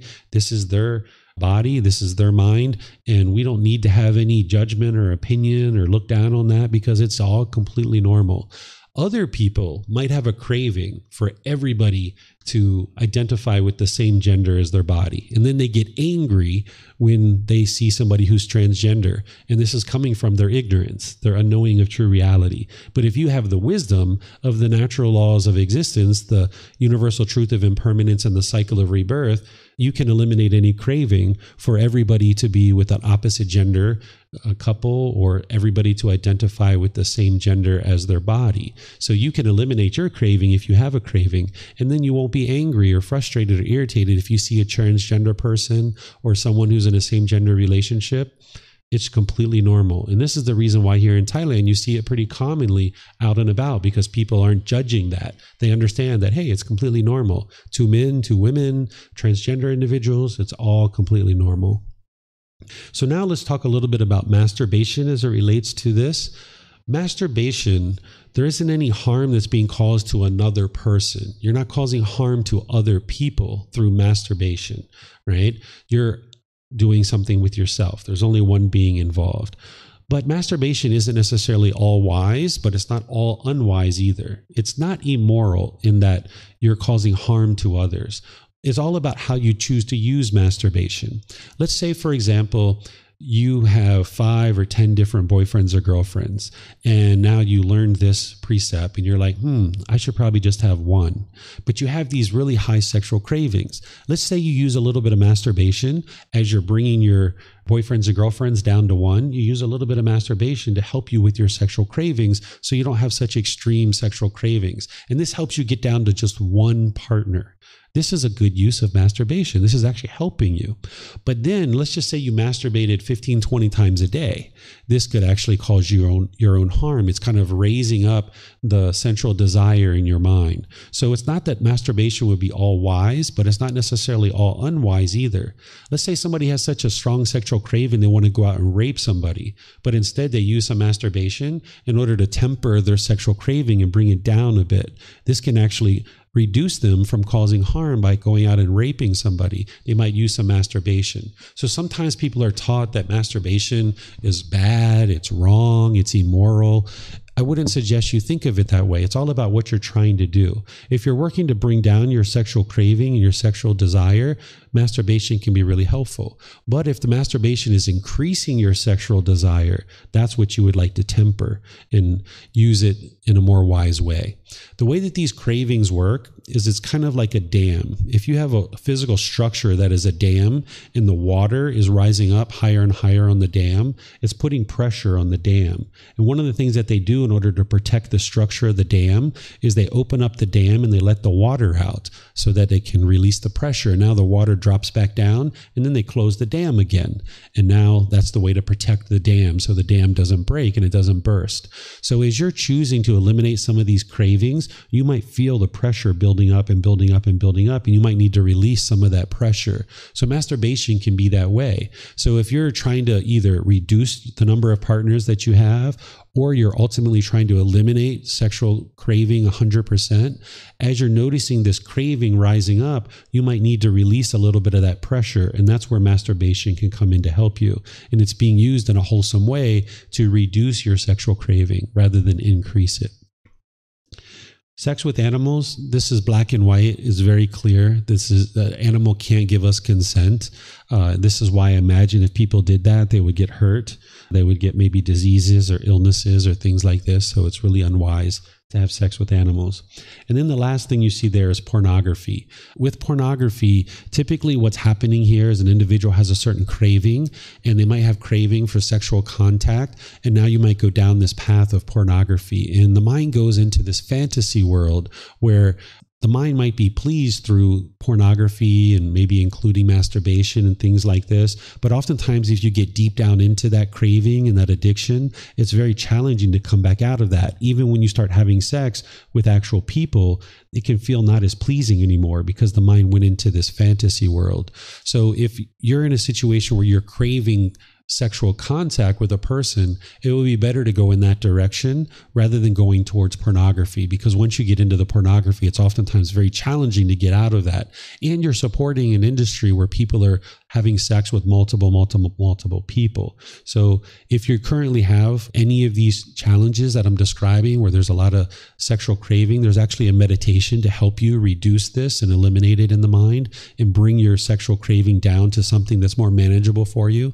Or if you're interested in completely eliminating your sexual craving, there's a meditation that helps you to completely eliminate it as well. And there you'll feel find more peace and more joy doing that. But you may or may not be at that point in your life right now. It's up to each individual to decide. So these are some of the things to consider related to this precept. Do you guys have any questions on this one? Yes, ma'am.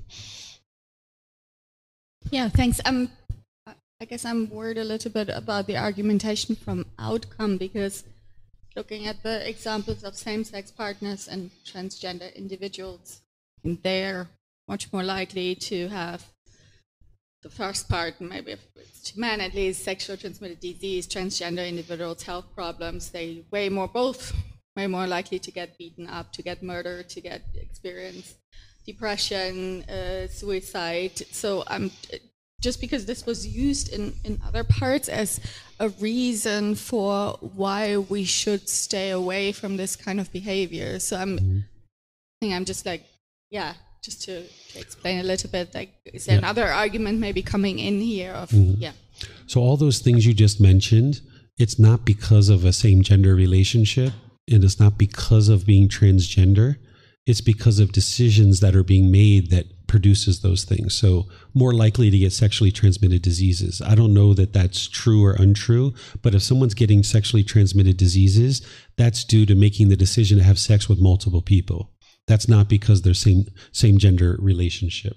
This is just the that's not because of the same gender relationship. Being in the same gender relationship, let's just say you met somebody at the age of 20, male, male, female, female, and let's just say you're together for the rest of your life.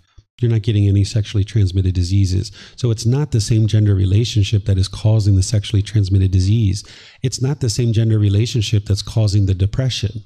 If someone's experiencing depression, it's because of craving, desire, attachment in the mind. So all that list that you went through, it's not being caused by the same gender relationship or the transgender individual. That's because of the craving, anger, and ignorance in the mind making unwise decisions. A same gender relationship or be a transgender individual. This is just normal. This isn't something that someone's choosing. Like someone's not choosing to be a transgender. It's because their mind is experiencing identification with one gender and it ends up in a body that has a different gender. That's what's happening as a result of rebirth, right? So they did make a choice to not get to enlightenment the life before, but ending up in a body that has a different gender. This is just the results of rebirth, right? So there's no harm here. There's no harm in the same gender relationship or transgender individual. They haven't caused any harm by having a same gender relationship or being a transgender individual. And all those things that you just mentioned, those can be eliminated through training the mind. Can just check so when it comes to same-sex partners, so for example, kind of various Christian churches or Christian denominations will say, well, of course, that's not your fault. It's it's not your choice that you are same um, attracted to the same sex. Uh, but here's your choice: you can choose to live that lifestyle, right? Um, so I'm just wondering whether there's any kind of such distinction here in Buddhism as a you know, as maybe it's a lit- religious practice as well, because I mean, you might say the same thing. You might say, well, you know, that's not your choice to be um, gay, but you know, it's still your choice to live the, you know, to live it out um, in some ways. So I'm just, is there um, some reflection of what you very often hear in a Christian context or Christian churches will say, um, or is it different here? You will certainly find people who are in Buddhist teachings that will tell you that everybody has to have relationships of opposite gender, right? But this is people who aren't understanding the teachings of the Buddha because the Buddha never taught that. But you will find people that will use any justification, certain cravings that they have to try to impose that on other people, right? So if you get to the natural laws of existence, you understand that everybody makes their own choices in life and whatever people make the choice of, they're experiencing the results of those decisions. Other people's choices don't affect me. What other people choose to do doesn't affect me at all. But with people having craving in their mind, wanting every man to be with a woman and wanting every woman to be with a man, they then get angry. So then they might use something like Jesus' teachings or the Buddhist teachings or Prophet Muhammad's teachings to try to justify their cravings of what they want the world to be. They want the world to be all men with a woman and all women with a man. But remember, these teachings aren't explaining to you how the world should be. These teachings are explaining to you the way the world is. The way the world is is impermanent. Some men are going to be with men, some men are going to be with women. Some women are going to be with men, some women are going to be with other women. That's impermanence. And then if you understand the world is with the cycle of rebirth, this helps you to understand the transgender individuals that of course we have transgender individuals because not everybody's mind is going to identify with the same gender as their sexual organs in the body. And this comes from the cycle of rebirth and the universal truth of impermanence. Makes complete sense. Hmm anything else on this one? Okay so let's go to the next one is number four abandoning false speech, refraining from false speech, a truth speaker, one to be relied on, trustworthy, dependable, not a deceiver of the world. So here the Buddha is teaching you not to lie, to be trustworthy, to be dependable, right? So oftentimes people will translate this as don't lie right? So the Buddha is giving you much more illuminating language than that to explain to you the reason why. Because if you're interested in being dependable, reliable, trustworthy, this is going to help you in your personal and professional relationships. Because if you lie, you're going to have a lot of difficulties in those relationships as people discover your lies. The Buddha understood this so well that he didn't even lie when he told a joke you might not uh, look at a Buddha as someone who tells jokes, but a Buddha tells jokes. They laugh, they have fun, they have a very fulfilling life, right? So oftentimes you see these pictures of the Buddha sitting in meditation. You might think he's somber and silent all the time. That's not true. A enlightened being is going to have a very fulfilling life, very fun, right? So a Buddha tells jokes, but when he tells jokes, he tells them the truth. And it takes a lot more wisdom to be able to tell jokes that are truthful. So if the Buddha was in a class like this, where he was teaching the truth, but then on the side he was telling jokes that had lies in them, people wouldn't know whether to trust what he was teaching or not.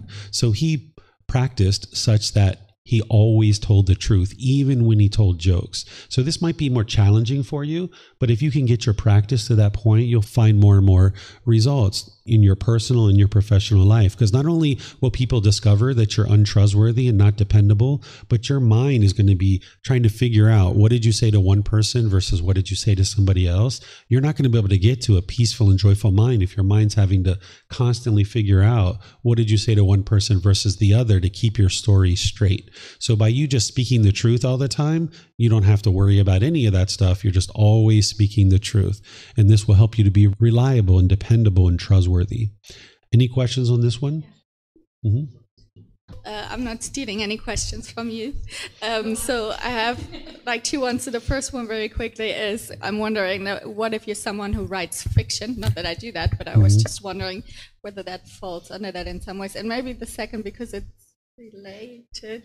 So there's this very um, kind of a famous example from Immanuel Kant and um, it's this thought experiment. You know, like you're um, um, someone comes to your house and they're trying to hide from a murderer, and they haven't done anything wrong. The murderer wants to kill them. They're mm-hmm. hiding in your house, and um, then the murderer knocks at the door and asks, mm-hmm. Uh, "Is that person there?" And what do you do? So, I mean, there's a lot of discussion around that, and Immanuel Kant mm-hmm. thinks for complex reasons that you should, should you know, tell the truth. So I'm just mm-hmm. wondering, in this case, whether the Buddha has a different idea or would agree that, mm-hmm. yes, in this case, you need to tell the truth that the person is hiding in your attic or something.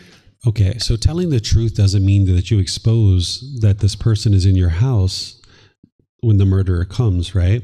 Because if you lied and then the murderer sees that person, now the murderer is going to want to kill you, right? So you can actually tell the truth without exposing that this person's in your house. So say a murderer comes to me and says, "Pop, up, up, up, up, up." I open my door. Is such and such here? Obviously, this person's going to have to tell you, "I want to murder them," right? Because that's the only way you're going to know that they're a murderer. And I was like, "Oh, were you looking for that person? Have you seen them anywhere? Where are they?"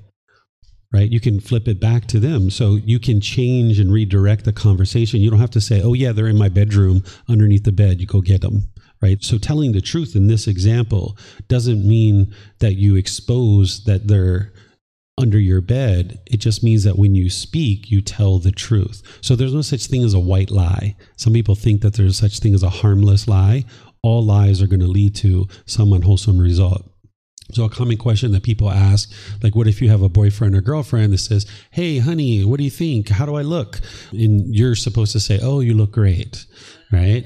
Well, that might be a, a white lie, right? And, and there's no such thing as a white lie.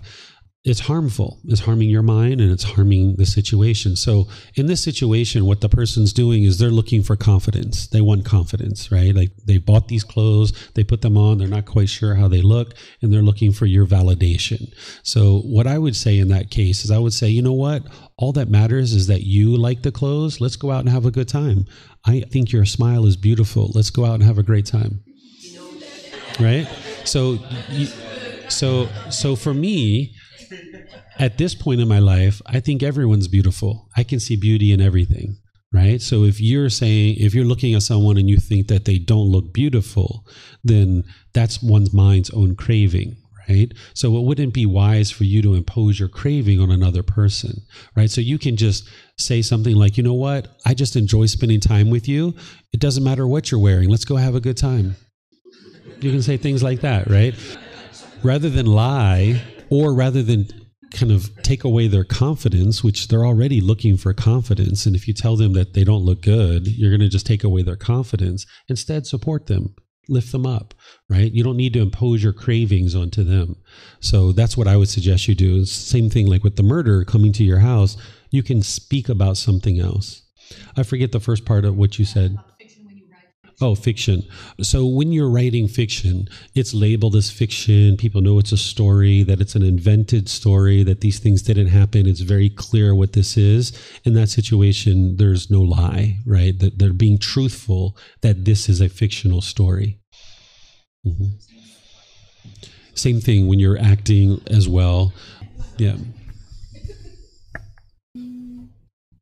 Sorry, I actually wrote this down a little while ago and then mm-hmm. talking about truthful speaking. Mm-hmm. Um, just in terms of sometimes when we speak truthfully, people don't receive it very well.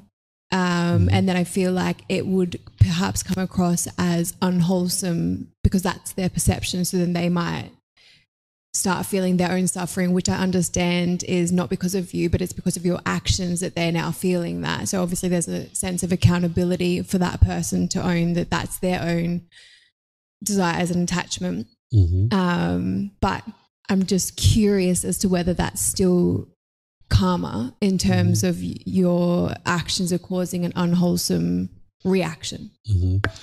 So you didn't cause the unwholesome reaction right? So it's an individual's craving, anger, and ignorance that is producing their unwholesome or unskillful conduct. This is unwise, but even if you yelled and hollered and screamed at somebody, if they got angry, it's their mind that's causing that. Now, because you were angry, yelling, and hollering, that's what's going to potentially come back to you, right? So that's the results of your decisions.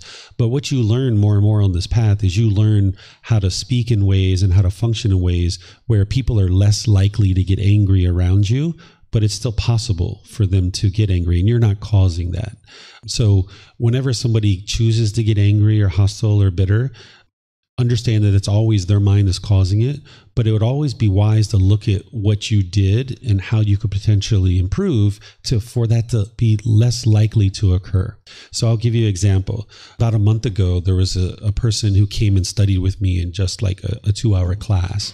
And then they were telling me that they were quite lonely and, and they were here and they were feeling quite sad because they came to visit a friend and their friend didn't have time to spend time with them and they wanted to go look at all these temples and they didn't have anybody to go look at these temples with. And I was like, oh, I'll take you to go see these temples if you'd like to go. I'll, I'll hang out with you for a day and take you around and tour you around. And they're like, oh, perfect. So we went around for a day and I showed them a whole bunch of temples. And then they said, okay, I would like to come see you next week and have lunch with you. And I was like, sure, come after class. We finish up at 12 o'clock. It was a Wednesday, I think, or something like that, or a Saturday. And we'll go out to lunch. Well, they came at 11:30. They hang out for a little while. Class was still going on. Class was over at 12, and then there were students who came up and talked with me so i was helping the students and they were just kind of waiting over there politely and calmly but by about 12 10 12 15 they were getting really upset and it was visible. And they were starting to be a little bit aggressive in the way that they were talking and talking to me. And eventually they started being very hostile and aggressive and i was like you know I, I think it's better that we don't go to lunch today. I think you need to maybe spend a little bit of time calming down and we can catch up another time. And uh, they got really angry and bitter and hostile right? And and they left. So at that point even though i know that they caused their own anger I still needed to look at my own actions and what did I do that can potentially be improved so that this person's attachment won't get triggered in the future. So what I did is I looked at the text messages where we organized this lunch and I was like, what did I say? And I was like, okay, we'll meet it after class and so forth and so on. But normally what I add to that is I usually say around 12 or I might say like, you know, just be aware that there might be some students after class that will need to talk to me. So we'll need to have lunch around 12. And I didn't do it that time. So I didn't cause that person's anger. He, he caused it himself from his craving. And ultimately, he, his result was, Hey, I'm not going to go eat lunch with you. you know, that'd be the last thing I would be interested in doing if someone was craving and attached, is to go have lunch with this person and reinforce their attachment. So still in that situation though it's wise to look at what you did to be able to figure out like what can i do to improve my practice here a bit and make this less likely to occur in the future? And that's very rare. Like that's probably once in a year that something like that happens around me because i'm functioning in a way that i'm observant of people's cravings and attachments and i'm ensuring that none of those are getting triggered in the way that I'm practicing in the way that I'm making decisions. So you can get to that same point if you always look at your own practice, but always remember that when someone else is getting discontent, they're causing it themselves. But what conditions existed that maybe you contributed to craving getting triggered. And even if it's only 1%, like in that situation, it was like a sliver of a thing that I could have done differently but you learn that and then you can improve and then you can improve in the future. But when they were getting angry and upset i wasn't experiencing any sadness or anger or frustration at all because my mind wasn't craving to go to lunch with that person. I was there to help them if they would like but i wasn't craving it. So you can still get to the point where you protect your mind. You've eliminated your discontentedness but there might be some things that you can do a little bit differently to improve the results that are being experienced. Mm-hmm. Uh, I'm just also curious as to any wording that you would recommend in terms of I feel like it's quite common in society to say like I'm sorry. Mm. So, right.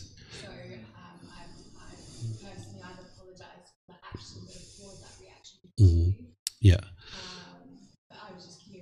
Yeah, this is great for this particular precept of speaking the truth because oftentimes you're you might be seeing other people say that like I'm sorry I caused you to feel that way. That's unwise. It's not true. And that's what speaking the truth is because if you speak this way around your friends, around your family, around your coworkers, you're going to have lots of people blaming you for their feelings. Because as soon as they don't feel a certain way, they're going to blame you because you've been taking responsibility for their feelings. So if you start speaking the truth more and more readily, you'll start noticing that you'll have better results in your relationships around you. So what I would say instead of that is I might say, I'm sorry that you feel that way or it's unfortunate that you feel that way. That's what I was saying to this gentleman when he was here. He was blaming me for all of his feelings. And I said, It's very unfortunate that you feel that way it's interesting because the week before he learned the Four Noble Truths, right? But learning it and practicing it in the moment is two different things. So even though he had learned the Four Noble Truths, he wasn't practicing it. So he was blaming me for all of his feelings.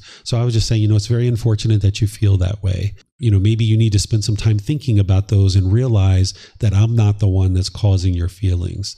So I said that with him because he was someone who had learned the Four Noble Truths. But if it was somebody who hadn't learned the Four Noble Truths, I probably wouldn't have said that last part.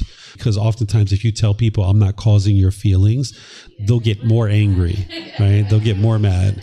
So, this is where like the variables are always different. So, you're not going to have this one standard stock answer that you can permanently do.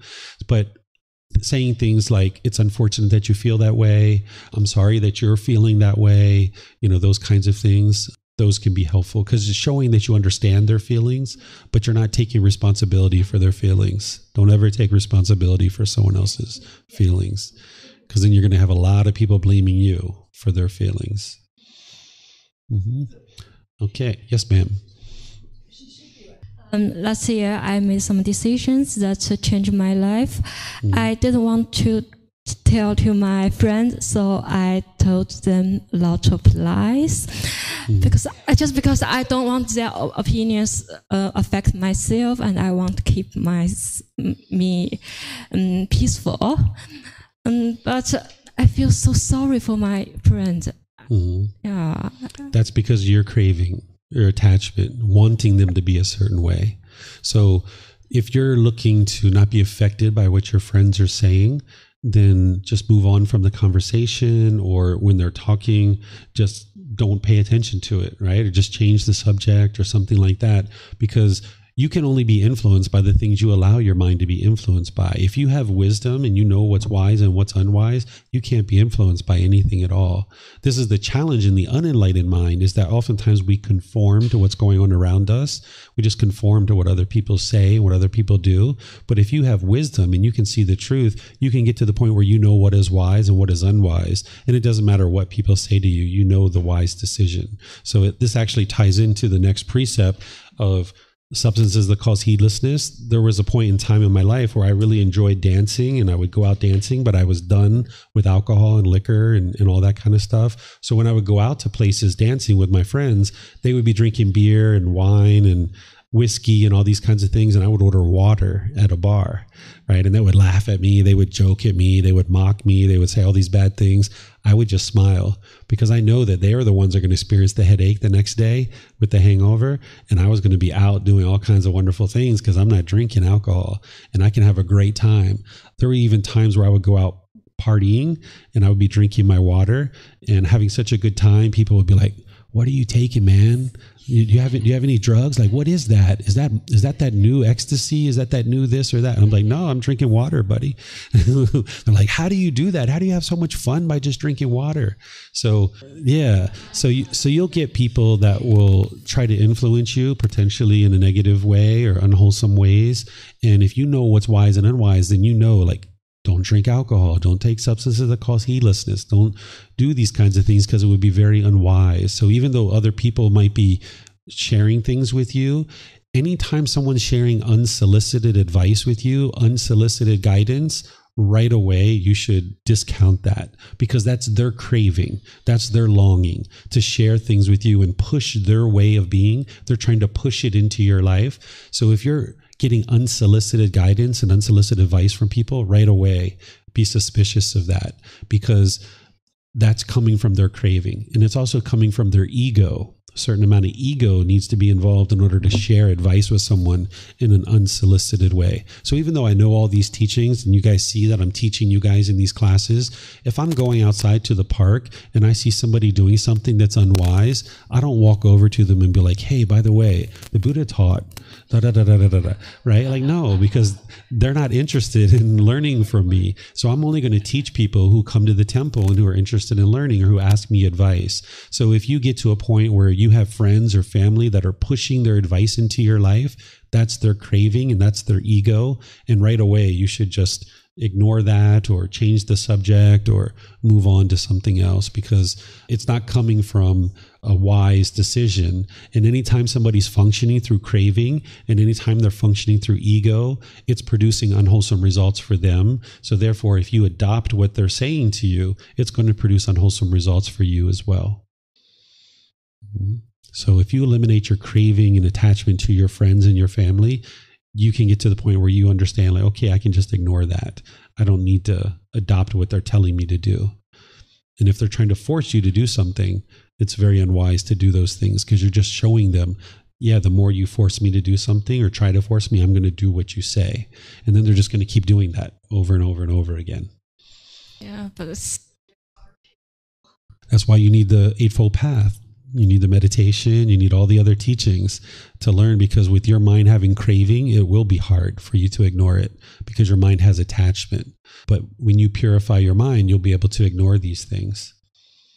Mm-hmm. Mm-hmm. You're welcome. Okay, so this is the fifth precept refraining from strong drink and sloth producing drugs, substances that cause heedlessness, the basis for heedlessness. So, if you're investigating and examining the teachings of the Buddha, the first thing you might ask yourself is what does heedlessness mean? right? And look in a dictionary. Well, I've done that and I'm providing the here for you, but don't believe what I'm sharing. Look it up for yourself if you like. What heedlessness means is careless, thoughtless, inattentive, uncalm, unaware, or unmindful. If you're looking to purify your mind and get to this enlightened mental state where you can observe the unwholesome qualities and eliminate those from the mind, and you're cultivating wholesome qualities in your mind, if you're putting a substance that causes heedlessness in your in your body, this is doing just the opposite of what you're trying to accomplish on the path to enlightenment. You're trying to cultivate mindfulness. You're trying to cultivate awareness of mind. You're trying to purify your mind. So if you take substances that are going to produce heedlessness, this is walking in the opposite direction of enlightenment. And we were talking a little bit about this the other day with substances like psychedelics and things like this. But now let's go through this list. So there's a gray area here, right? It's not all black and white because something like marijuana, yes, it produces heedlessness and someone might take it for that purpose, but it also produces medical benefits too. But it's all about how you use this plant. If you're looking for a high, someone's probably going for a high THC and they might be smoking it. And this is causing damage to the lungs and it's causing difficulties in the mind. But if you're having a true medical reason to take marijuana, you're probably going to look for a high CBD. This is a per- certain portion of the plant that has a high CBD, and you're probably going to take it as an edible or an oil or something like that, so it doesn't cause harm to the lungs. So there's children who have like 20 different seizures in one day, and they've given them a little drop of CBD oil, and then they don't have a seizure for six months. So we know that this plant has medical benefits, but it's all about how you're using it and why you're using it. And then if you're using it for something like stress or anxiety, this isn't going to solve that problem. Some people think that that's a medical thing and that they're going to solve it with marijuana, but it actually doesn't solve it because what's causing the stress and anxiety is the craving, desire, attachment. So if you are introducing marijuana, and maybe you don't feel stress in that moment when you're ingesting the marijuana and as you're high on the marijuana but when the marijuana is gone you're stressed and you're anxious so you haven't cultivated the wisdom of how to eliminate the stress and anxiety through eliminating cravings desires attachments so marijuana you can use it for medical purposes but you would look for a high cbd and probably ingest it as an oil or an edible cigarettes there's no medical benefit there. And the people have figured this out. And this is why we have all kinds of difficulties with cancers and lung cancers and stuff like this. So less and less people are smoking. So if you currently smoke, you might decide to let that go over time because it's going to help improve your health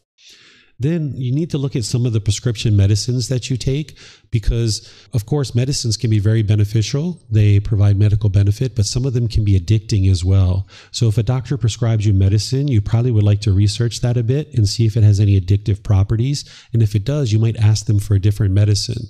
Or if there's no other medicine, it's only that particular medicine that you can use, you might decide to hurry up and get off of it as soon as possible so you don't get addicted to it. So, you need to look at those kinds of things. And then look at caffeine as well, because caffeine produces heedlessness. There's no medical benefit for caffeine. It produces this excited state in the mind. It lifts up the energy. It's a stimulant. And if you let go of caffeine, you'll notice that you can produce natural energy. By the time you get to enlightenment, you have consistent energy all throughout your day. An enlightened being doesn't get exhausted. They don't get tired they get sleepy. They need to sleep, but they don't get exhausted or tired. If you continue to rely on a substance like caffeine to lift you up, then you're going to drop off when you don't have the caffeine. But if you can purge that out of your food intake, you can cultivate natural energy where your mind is just always energetic, uh, not bouncing off the wall, but not down here and tired and exhausted either. So if you continue to ingest caffeine, you're not going to be able to cultivate that natural energy with the body and with the mind. So if you decide to let go of caffeine, I suggest doing that gradually or slowly because if you try to do things abruptly, oftentimes the mind doesn't like that. So if you do it gradually, it'll help you a lot more. You even need to look at sugar intake. If you take sugar in excess, you can go into a sugar high. We probably did that when we were a child, and then you drop off down into, you know, after the sugar high. So if you're going to ingest sugar, you can ingest sugar. There's no harm with sugar by itself. But if you take it in excess, that's where it's going to produce the heedlessness. And then the last one you see here is psychedelic substances, which we talked about the other day, psychedelic mushrooms or LSD or ayahuasca. This is oftentimes thought of as people think that it's actually helping you to become more conscious and have a higher consciousness. It does promote a certain amount of introspection where you can look inward at the mind, but it's being induced by a substance rather than you cultivating that naturally. What you would like to do is be able to cultivate that through training of the mind because in order to get to enlightenment, you're going to need to be introspective at all different times of the day. As you experience different things, you're going to need to be reflective about what it is that you're experiencing. If you can only be reflective when you take this substance, then you're not going to be able to be reflective all throughout your day and look inward and try to figure out what is it that's causing your discontentedness or was I really loving and kind here or was it is there something I can do to change my practice here? So you're going to need to produce that inward looking eye, that introspection, that reflectiveness. And if you cultivate that naturally, then you'll have that available to you all throughout your day. It'll be permanent in the mind. By the time an enlightened being gets to enlightenment, they can be permanently reflective. But as a psychedelic substance, you can only be reflective when you have that substance. And you're hindering the mind from being able to cultivate that, to be able to have it as a quality of the mind that's always there. So that's why I would suggest that you you uh, eliminate any kind of psychedelic substances if you're looking to cultivate this mindfulness and awareness of mind. So, anything on this one that you guys would like to talk about? Yes, sir. Um, yeah, I feel like it's a lot about the sort of amount as well. Uh, you can take any amount almost uh, that we're consuming uh, and will cause uh, heedlessness. Like you drink water and become like dizzy. And uh, um, it's more like the heedlessness we're trying to avoid. If you sleep too little, uh, you are become heedless and, and uh, stuff like that. So, can you like, give me an example? Like which yeah, one? Yeah, if you don't sleep enough, right? You can. What's that? If you don't sleep enough, oh, you become heedless. And you said uh, with the sugar, you come, mm-hmm. you take too much sugar, become heedless, and mm-hmm. caffeine same, and the psychedelics, even like yeah, with the ayahuasca and the, the DMT, we have it within our brain, right? So if we uh, take too much of that, and we become heedless. So all these different things you can take too much, become heedless, and you become uh, lower and becomes kind of balanced. Okay. So a few things I'd share with you there is is sleep isn't a substance that causes heedlessness. This is an activity that you need in order to restore the mind and restore the body and maintain its health. So that's not what we're talking about here. What we're yeah. what we're talking about here is is substances that yeah. you're putting into the body. There's really only two purposes to put substances into the body, or actually three, but two main ones, which is putting food into the body to nourish the body, putting liquids into the body to hydrate the body. But then there's also medicines, right, that we put into the body to heal the body as well. When you're starting to induce these different substances like alcohol. And by the way, this isn't an exhaustive list here that I have. I'm not putting together an exhaustive list for you. I'm just helping you to understand this precept and then giving you a couple of examples that you can use because that tends to be kind of a gray area. So, certain substances that you put into the body, it's going to produce heedlessness, and you need to be attentive to this. In some cases, something like alcohol or cocaine or crystal meth or heroin, you know, like this is producing heedlessness. That's the only purpose to put that into the body. Mm-hmm. But there's other purposes for something like marijuana. It can be put in the body for heedlessness, but it can also be put into the body for medical purposes. And mm-hmm. that's what you'd like to look at. Same thing with something like a prescription medicine. This is being put into the body for, for the most part, for healing. Mm. But some of these prescription medicines can be for the purpose of heedlessness as well. But you take something like caffeine, there's no medical purpose for caffeine. It doesn't hydrate you, it doesn't nourish the body. There's no need for caffeine in the body whatsoever. Mm. So you can actually purge this 100% from the body. Mm. When you look at something like sugar, this can actually be helpful to the body in, in certain amounts. But if you take it in excess, this is one of those substances that, yeah, it can produce heedlessness. Mm. So what you're doing on this path is it's not like a plug and play kind of thing where everything's going to conform to one particular thing.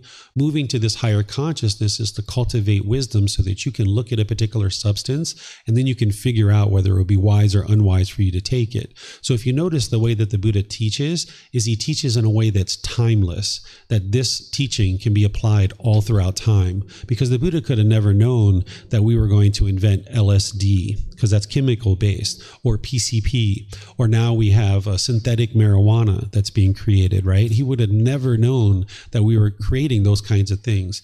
What he's teaching you here is don't interject, something into the body that's going to promote the mind to be unmindful or unaware because what you need to get Yeah. to is you need to get to the mindfulness and the awareness of mind. So if there's any substance, either now or long into the future, 10,000 years from now, 80,000 years from now, something is invented that gets uh, interjected into the body and now it produces heedlessness, it would be unwise to take that substance. And then, as you're saying, which is what I shared as well, some substances at certain levels are heedlessness, some substances are not. And that's what you'll need to monitor. And then, one more thing that I'll share here, because I, I, I see this potentially. Let me share this sometimes the way the unenlightened mind functions is when it's doing certain things now and then it learns teachings of what the buddha is pointing to as what this is enlightenment sometimes the mind really struggles to be able to see that and be willing to let go of what it's currently doing in order to get to this peaceful and joyful mental state. The mind is a master at justifying its current decisions, whether it's about euthanasia, whether it's about substances, whether it's about anything that we might be doing. The mind will oftentimes justify what it's doing now because it wants to hold on to these cravings and this clinging, and it's not willing to see the potential of what it can get to if it lets go of these things. So I'm not sure if there's any of that potentially, but sometimes people have that around substances. It's like, ah, can't I just keep my coffee? Like, gosh, I just want my coffee every morning. Gosh, I really want that. I'm not going to tell you to keep your coffee. I'm not going to tell you to get rid of your coffee. What I'm sharing with you is that if you drink coffee, if you drink caffeine, it's going to promote heedlessness. You're not going to be able to see the quality of your mind as well. And you might even notice that it produces headaches and dry mouth and all these other things. So that's the results of one's decisions. So I'm not sure what your follow up so question yeah is. so so my point is that it- it's the heedlessness we're trying to avoid when I talk about drinking water and uh, sleep uh, i mean marijuana is a plant so is lettuce. And so is uh, a mushroom uh, like normal mushroom or magic mushroom doesn't matter right?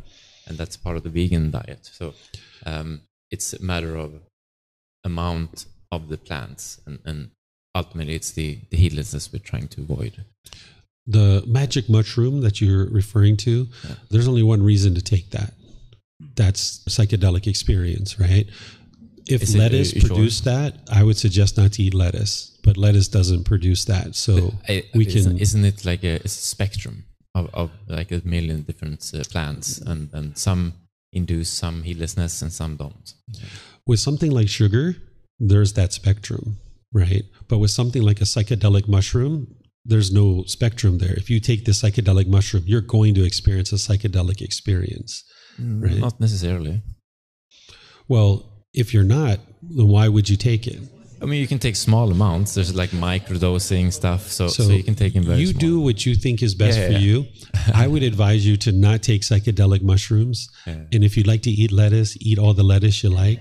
i'm just saying it's, it's a spectrum and, and Yeah. uh, it's not It- about the substance in itself it's Yeah. the heedlessness So if the mind has the intention of, I would like to take this psychedelic substance because it's going to produce a psychedelic experience, that's your intention behind it. You're walking in the opposite direction of enlightenment. Mm. If you're interested in getting to mindfulness or awareness of mind, you would purge all substances because you have no use for a psychedelic substance whatsoever. There's just no way that an enlightened being is ever going to pick up a psychedelic substance once they're at once they're enlightened. you don't think we can eat lettuce to heedlessness No, You lettuce. think I don't No think lettuce much we eat? produces heedlessness. if it did, I would say whatever that amount is, then don't take it, right? Yeah. But yeah so- so psychedelic. then it's the amount and, and the, the, the scale in a way or yeah there's no purpose to drink to take a psychedelic substance. Agree to disagree. you know, let let us, uh, you know, so so if you would like to hold on to your psychedelic substances, by all means, you'll experience the results of that. But I'm not going to ever take a psychedelic substance ever again. I did in the past when I was younger. There's no reason for me to have that at this point. You're hindering yourself from experiencing enlightenment as long as you hold on to that psychedelic substance. You won't experience enlightenment. It's not about whether it's a plant or not, it's about the effects that it's producing to your mind, right? At the end of the day, alcohol is a plant too right? It, it's a plan as well. It's about the effect that it's causing to your mind. Yeah, that's what you're trying to eliminate. If you would like to get to enlightenment, you're going to need mindfulness and you're going to need a from the moment you start waking up until the moment you fall asleep, you're going to need mindfulness. And if at any point during there you're introducing a substance that's producing heedlessness, you're not going to be able to experience enlightenment.